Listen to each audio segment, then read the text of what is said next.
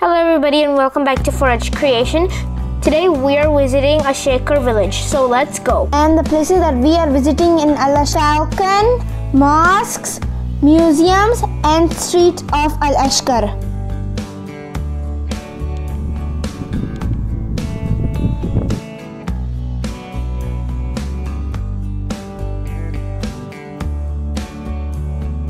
So while we were driving, we came across this car accident and it looked like it was a really dangerous car accident, but we forgot about it.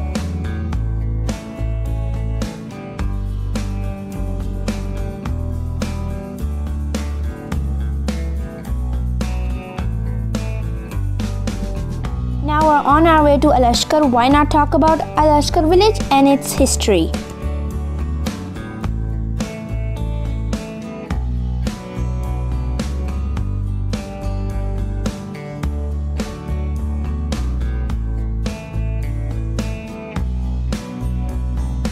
Came through this checkpoint and we found this university.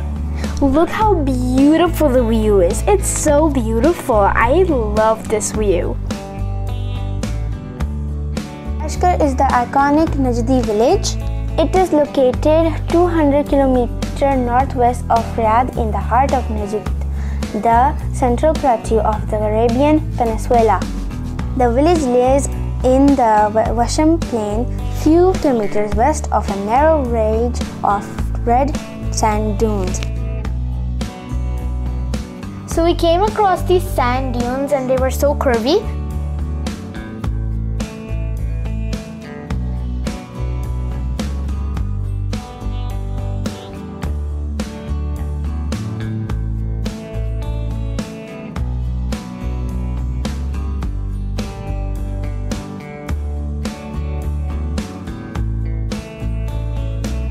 We parked right here and now we are off to see the beautiful views of the Ushaiqer Heritage Village.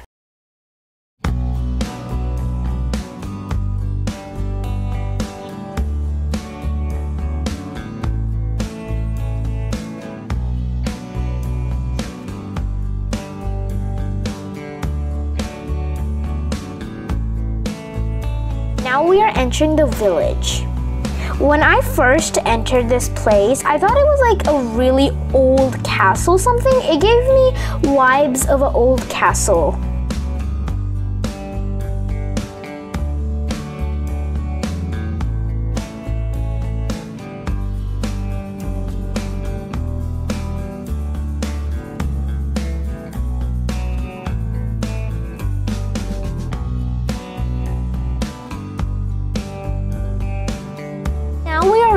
The Ushaiqer Heritage Village.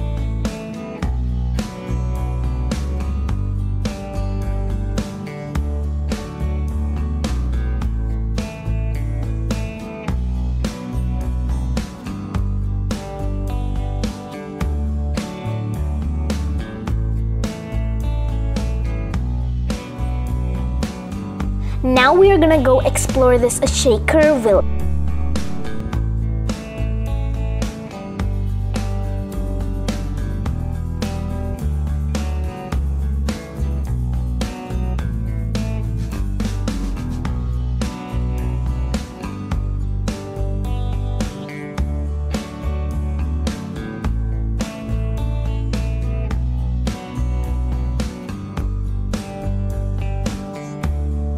We entered this dark cave and we found these little two doors and stuff like that. So this is like kind of like a mini village. Yeah, it is a mini village and it's like just so cute. I want to live in one of these houses, not gonna lie.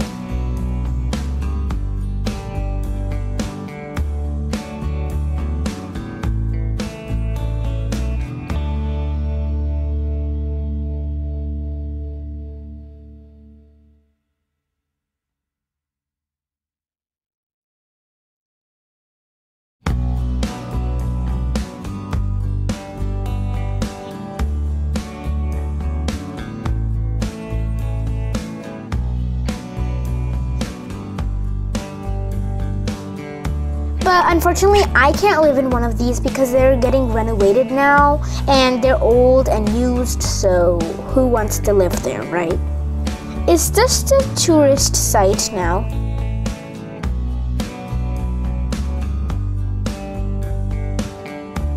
So as you can see like the doors are kind of like broken and stuff and like there's like ways to go. You have like villages and like kind of like alleys you can just walk around and just like explore this place. Like yeah.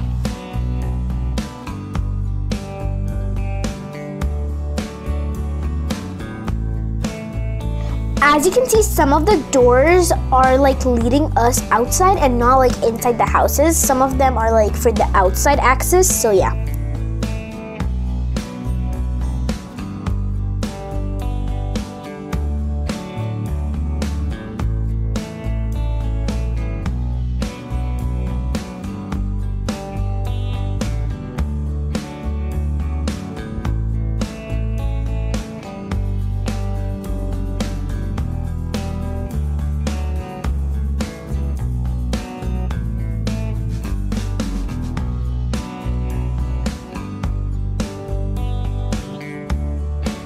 entered this small place and it has like stairs and like a door and yeah, it's just like abandoned.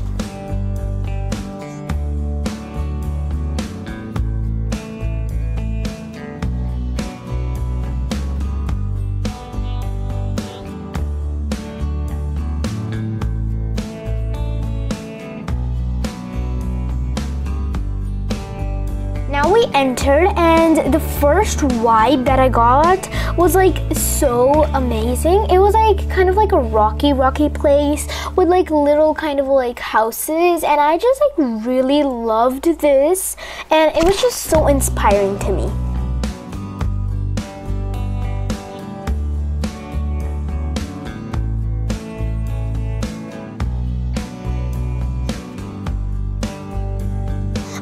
The story behind this bridge. So it was made years ago when the people lived here and they made this bridge so they can go to other people's house and they can meet each other. So yeah.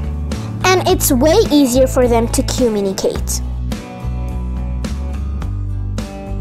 So right now we are walking on this bridge and look how beautiful the view is like it should it's like reminds me of like abandoned houses. It is abandoned houses but it's just so beautiful. The sun and it's just it's it's just my vibe you know? I love it. I loved being here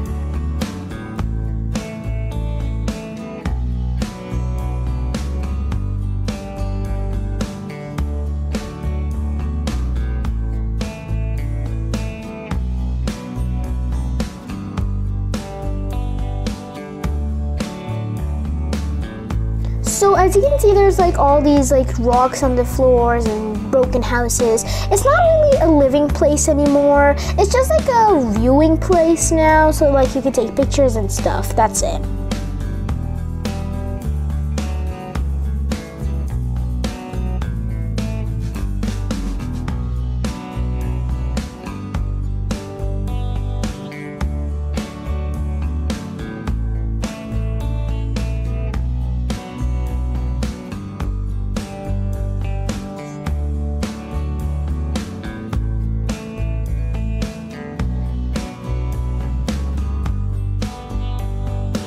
And we saw this well right here and it is so deep.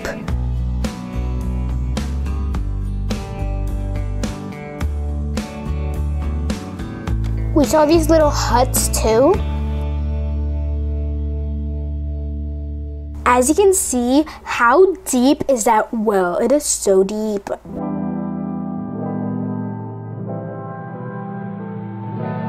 We also saw this water here and like it was like really cool. This was like a little river of water and it's so cute.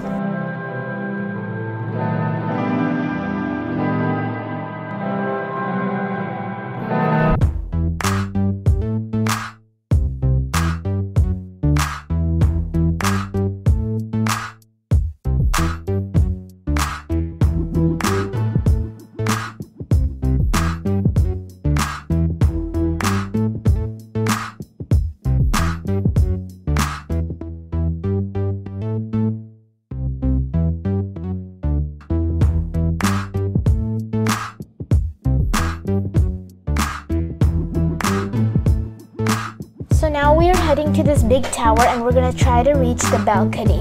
And I think it has stairs so we have access to go up.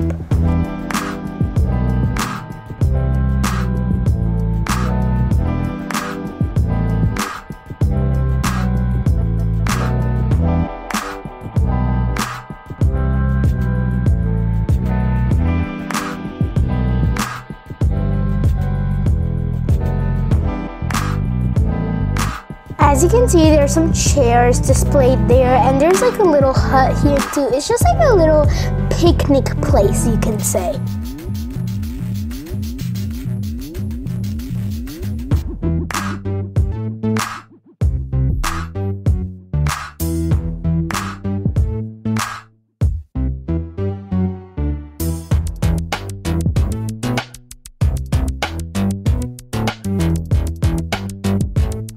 Can see here are some stairs so we can go up and look at the beautiful view.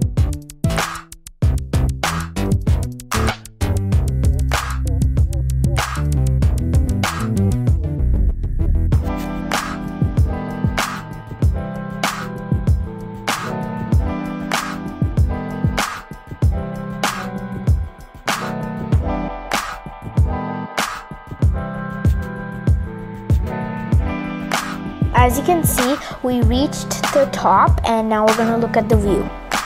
Now we're just gonna give you a view of this whole place. Now we are climbing up the stairs and we reached to the top.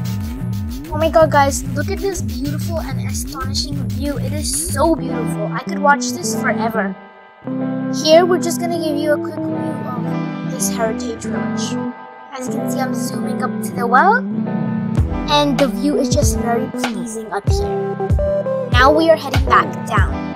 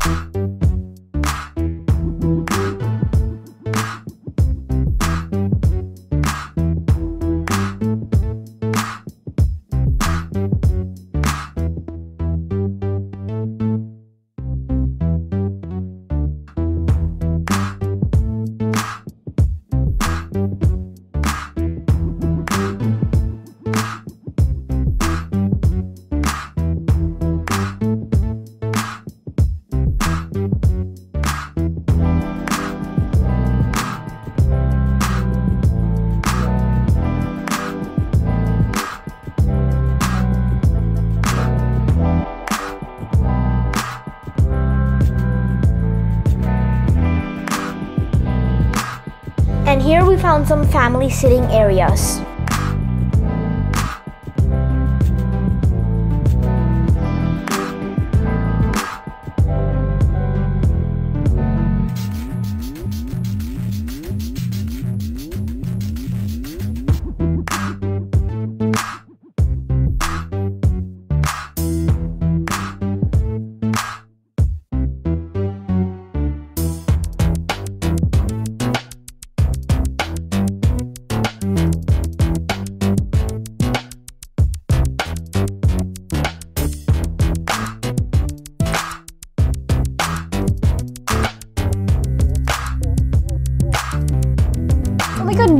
Look, we found so many sheeps. I wonder if we can go catch one. We can't do that, but let's go try.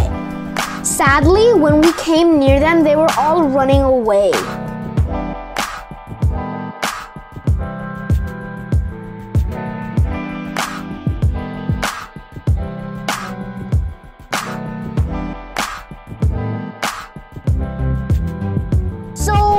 Basically tried to like touch a sheep, but they were all running away from me and I was trying to chase after them, but they were running away from me and I was disappointed.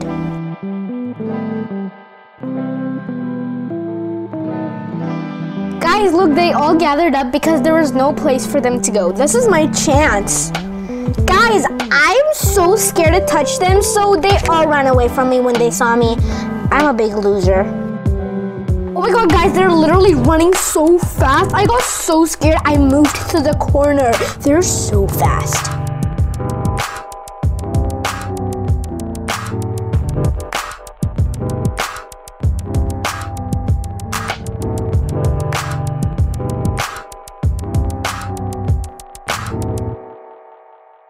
Guys, we found this man with a pet falcon and I really wanted to touch it. So we decided to ask the man if we could touch it and he was so loyal and generous that he let us touch his pet falcon.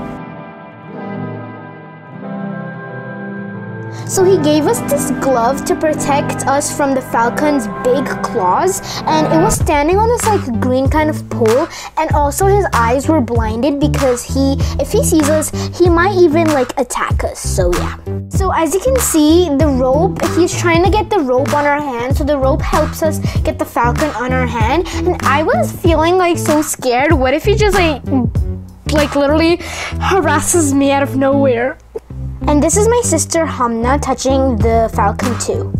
As you can see, I'm showing the little like blindfold on his head and I got used to that falcon.